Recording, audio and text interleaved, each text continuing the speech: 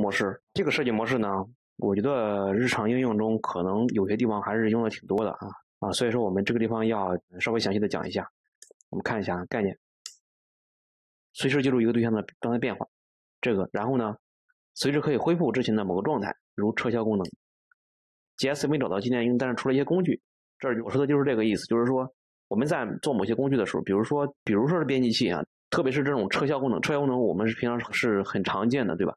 我们平常很常见，那我们在做 GS 的一些工具的时候，可能就会很常用到。当然，如果是你在前端或者 GS 中做的是以展示为主的界面，那基本上就不存在这种撤销的问题了。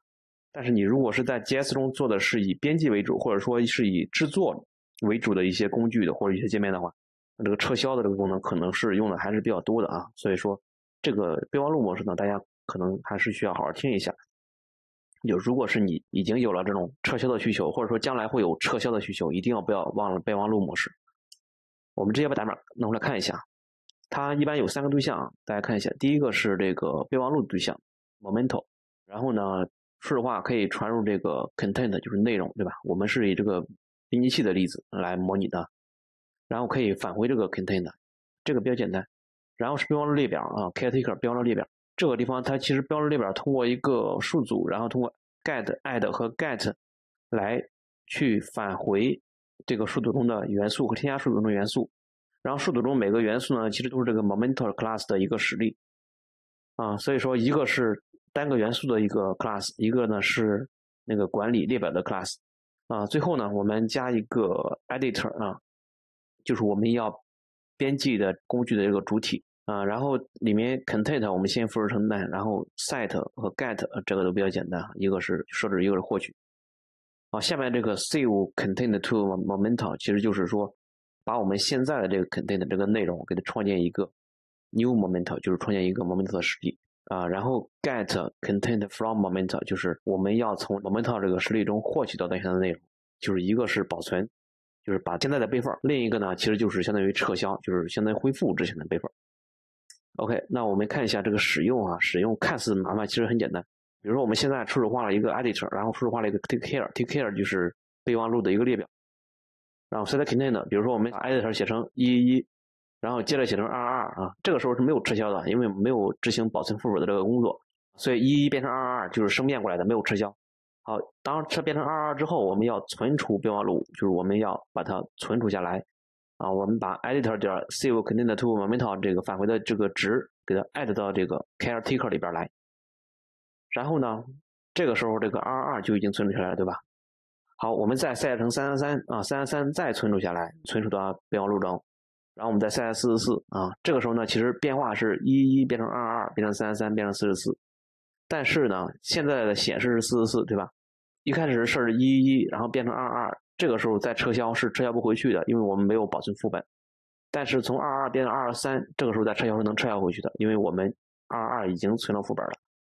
从三三三变成四四四也是能撤销回去的，因为三三三也是保存了副本了。好，变成四四四之后呢，我们打印当前的内容，它肯定是四四四，对吧？然后我们做一次撤销，再打印啊，我们做一次撤销再打印，就能恢复到这个三三三，恢复到二二二中去。好，就是这种简单的例子。如果是你有这种撤销啊、备份啊、保存副本啊这种需求的话，应该是能引起你的好多共鸣，或者说能激发你想出一些比较合理的一些方式。好，我们代码演示一下。好，我们把之前的这个命令模式的这个代码先删掉啊。我们先弄一个备忘对象，就是这个 momento。既然备忘嘛，肯定得传点内容进去，对吧？要不然备忘什么呀？啊，list content 复制成 content。OK，那现在呢，我们还要定一个 API，让它去获取这个 content，return list content。好，这个标对象呢就已经生成完了。接下来是备忘列表啊，caretaker。备忘列表初始化的时候，肯定我们要先把这个自己的这个类的列表先初始化出来，然后我们允许去添加备忘对象。啊，这个地方按理说不应该叫对象啊，应该叫备忘的类啊。我们严谨一点，list list 点 post 啊，就是把这个 moment 这个对象添加到这个 list 中嘛。好，接下来是 get 啊，get index，通过 index 获取，然后直接 return list list，然后 index 就可以了。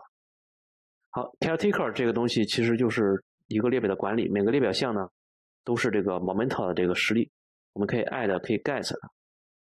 好，接下来是编辑器，editor。编辑器呢，我们肯定里面得存一些编辑的内容。我们先复制成 num 吧。然后呢，我们可以有一个接口去 set content，就是给它设置内容，类似于我们输入内容啊。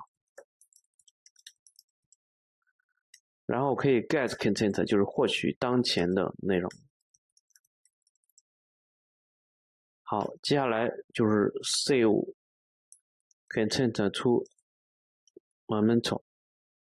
啊，就是说我们把当前的内容呢，给它保存成这个 momental 对象，然后 new momental 啊，好用 momental 的时候呢，我们要传入 content 对吧？content 好说，content 就是当前的这个 content 就可以了啊，就是 this 点 content 就可以了。好，然后再是 get content from moment，就是我们要把 this 点 content 复制成什么呢？啊，这应该传入一个 moment 对象，复制成这个从 moment 中获取的 content。啊，这个 get content 在是这个哈，momental 里面 get content 就对应到这儿来。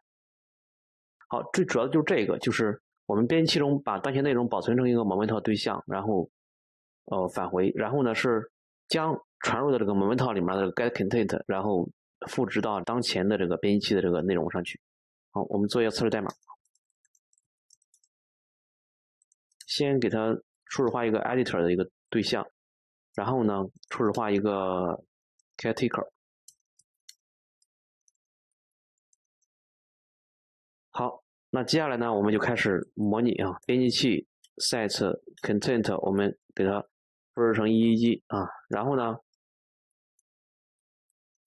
然后再内容复制成二二二啊，这个时候是不能撤销的，因为我们什么都没有做啊。好，当前是二二，那我们给它备注一下，就是给它保存一下，保存一下就是说 caretaker 就是这个备忘列表，给它加一个什么呢？肯定是加一个我们特的对象。那我们加一个 editor 点 save content to momentum，大家看这个是返回一个 new momentum 的一个实例啊，所以说执行这个肯定是没有问题。那好，那我们执行这个其实返回的就是这个 momentum 的一个实例。然后正好是符合 caretaker 这个 add 里面，这我们要传一个 momental 实例的一个要求。啊，这样的话其实就是将当前内容备份然后继续赋值，对吧？我们直接拷贝吧。啊，复制成三三三，然后复制完这个三三三之后呢，我们再进行一次备份啊，操作是一样的。然后我们再继续赋值，复制成什么呢？复制成四四四。好，这样的复制完了啊，复制完之后呢，我们先去打印当前内容，打印当前内容肯定是四四四，对吧？好，接下来呢，我们再去恢复啊，get content from momentum，from momentum 就是这个 caretaker 点 get 点 get 什么呢？大家看 caretaker 点 get 其实就是执行这个，对吧？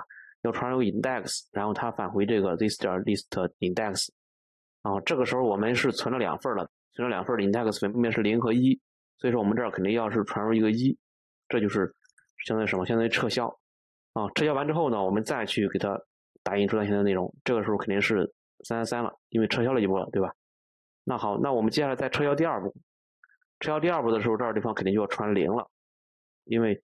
这个一 index 已经被撤销过了，所以说我们接下来要撤销传零。好，传零撤销之后呢，我们再去打印，再打印的时候应该是二二的。所以说我们这个地方做这些事之后，然后再去打印的时候，我们预期这些打印的是第一个是四四四啊，第二个是三三三，第三个呢是二二二。好，我们到浏览器中先把之前的打印清一下，然后我们在代码中保存代码。好，大家看四四四三三二二，对吧？就是整体来说，是我们在试二二的时候，这儿做了一个备份又生成三三三，又做了一个备份，然后生成四四四。接下来我们要打的肯定是直接打四四四啊，然后我们进行一步撤销，打三三三，然后再进一步撤销，打二二，这个没有问题啊。好，看似比较简单，其实也没有那么复杂，就是主要是把这个备忘类和这个备忘列表这两个 class 给它抽象出来，然后在真正的编辑的工具里面去如何去使用就 OK 了。然后使用场景呢，其实就是我们一开始说的这种 GS 的写的或者前端写的这种生产类的或者编辑类的工具，而不是偏展示类的。展示类没有什么撤销啊。好，设计原则验证就是状态对象与使用者分开解耦啊，然后。所有的分开的解耦的肯定是符合开放封闭原则，对吧？这个是没有问题的。好，总结一下，我们看一下概念和用意。备忘录模式呢，就是说保存一个对象的某个状态，然后呢，在适当的时候可以恢复它，就是类似于这种撤销功能啊，而且撤销功能用的最多。